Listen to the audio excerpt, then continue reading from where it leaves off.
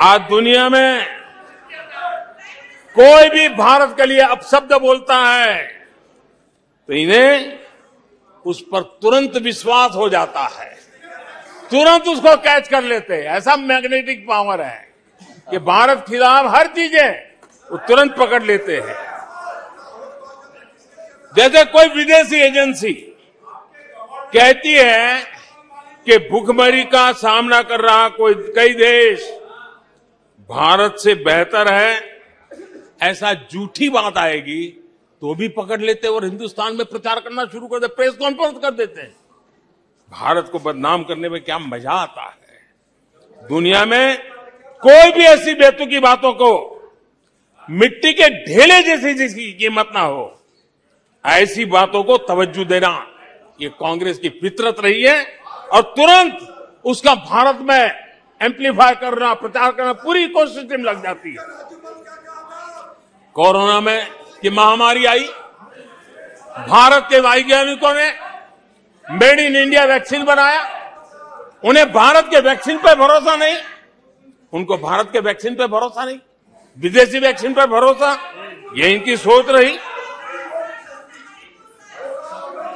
आदरणीय अध्यक्ष जी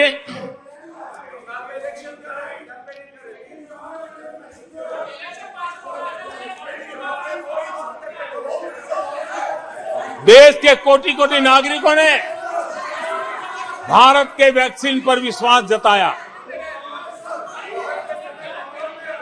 इनको भारत के सामर्थ्य पर विश्वास नहीं है। इनको भारत के लोगों पर विश्वास नहीं है। लेकिन इस सदन को मैं बताना चाहता हूँ, इस देश का भी, भारत के लोगों का कांग्रेस के प्रति नो कॉन्फिडेंस का भाव बहुत गहरा है। कांग्रेस के प्रति नो कॉन्फिडेंस का भाव बहुत गहरा है भारत के लोगों में। कांग्रेस अपने घमंड से इतनी चूर हो गई है, इतनी भर गई है कि उसको ज़मीन दिखाई तक देती नहीं है। आदरणीय अध्यक्ष जी, देश के कई हिस्सों में कांग्रेस को जीत दर्ज करने में अनेक दशक लग गए हैं। तमिलनाडु में कांग्रेस की आखिरी बार 1962 में जीत हुई थी।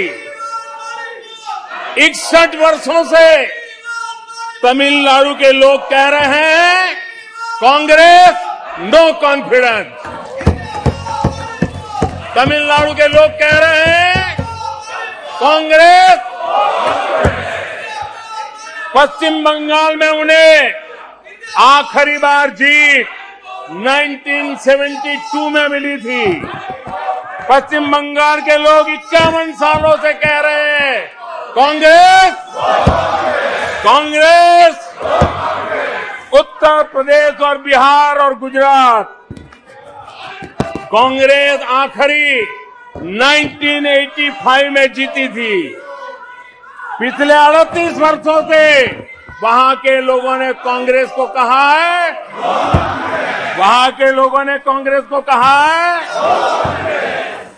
त्रिपुरा में उन्हें आखिरी बार 1988 में जीत मिली थी।